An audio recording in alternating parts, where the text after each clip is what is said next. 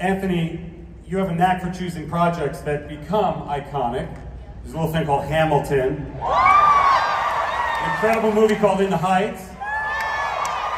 So we feel that you're a good luck charm into this, playing a good guy, a bad guy. What is Parker?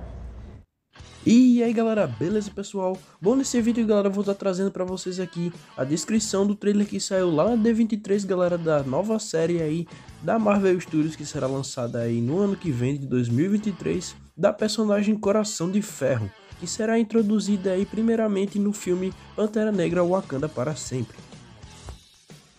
No trailer vemos Riri Williams fazendo muitas experiências no MIT e sendo questionada por seus talentos de que ela não seria a única gênia do instituto. A personagem aparece construindo sua armadura do zero.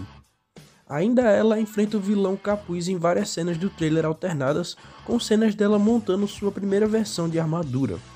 Riri Williams diz que está fazendo algo icônico, mas é questionada sobre qual é exatamente o seu propósito fazendo tudo isso. Bom galera, essa foi a descrição aí do trailer Decoração de Ferro. O trailer foi bem curtinho, exibido lá na D23, porque a série ainda tá na fase de filmagens, galera. Eles ainda estão gravando a série, então provavelmente tem pouca coisa aí que eles eles têm pouco material para ser exibido e poucas cenas finalizadas, porque ainda tem a questão do CGI da série estar pronto. Então, eles só exibiram essas poucas cenas aí mas já deram um gostinho aí de como vai ser essa série, a tecnologia presente nela e como será a armadura da Riri Williams.